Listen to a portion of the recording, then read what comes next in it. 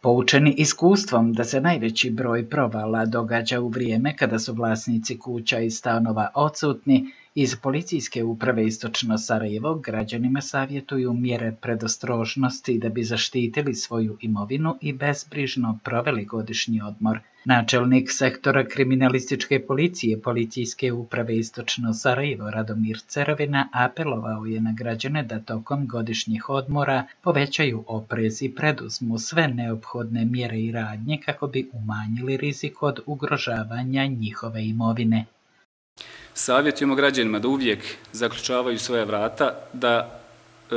ključeve od istih ne ostavljaju na mjestima koja su uobičajna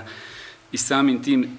nisu krivena, a poželjno je da nakit, novac, oružje i druge dragocijenosti znači obezbijede na adekvatan način. Također, poželjno je da ukoliko su mogućnosti ugrade tehničke sisteme zaštite u vidu alarma, videonadzora i drugih sredstava u cilju boljeg obezbiđenja svojih prostora. Nije poželjno na društvenim mrežama objavljivati odlazak, putovanja ili slične informacije koje potvrđuju da su odsutni, odnosno da ne borave u stambenim prostorima.